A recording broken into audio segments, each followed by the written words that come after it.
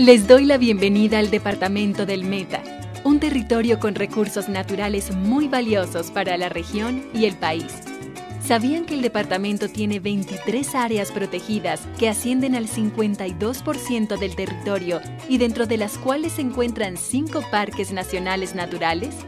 Además, el Meta tiene un área de manejo especial de la Macarena, AMEM, la cual conecta los biomas andino, amazónico y orinocense y representa el 41% del total del departamento, convirtiéndolo en un recurso ambiental clave, tanto a nivel regional como nacional, debido a su riqueza natural, recurso hídrico y variedad de flora y fauna. Sin embargo, este importante patrimonio está peligrando por causa de la deforestación. Lamentablemente, este es uno de los departamentos con mayor pérdida de bosques en Colombia, desde 2013 se han deforestado más de 200.000 hectáreas de bosque, casi un 80% del área de Bogotá. Diariamente se tala una zona similar al tamaño de 140 canchas de fútbol. Por esto, detener la deforestación debe ser una prioridad que nos involucre a todos.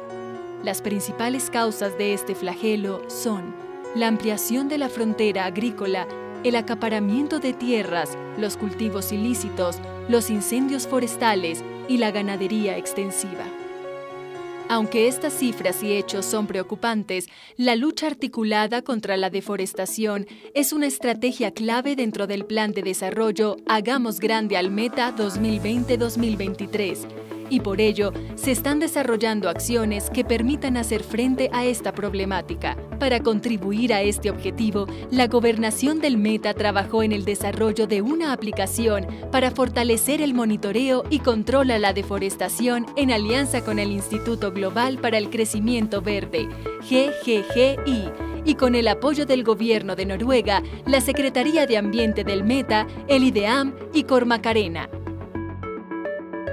Lo mejor es que esta app ya está disponible para que las comunidades, entidades territoriales, ambientales y todas las personas interesadas puedan acceder a ella, con el fin de visualizar, recopilar, analizar información en tiempo real y reportar eventos de deforestación, incluso si no tienen cobertura de red.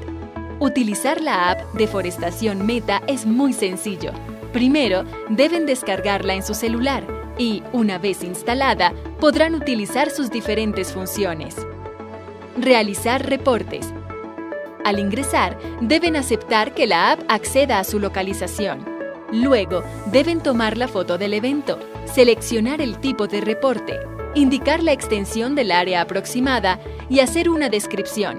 Este reporte podrá ser enviado anónimamente o si lo desean, también pueden dejar sus datos de contacto.